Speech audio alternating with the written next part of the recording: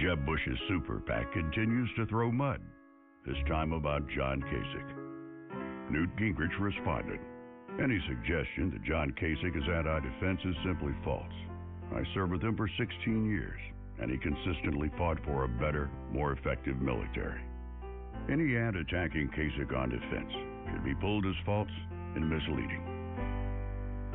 New Day for America is responsible for the content of this advertising.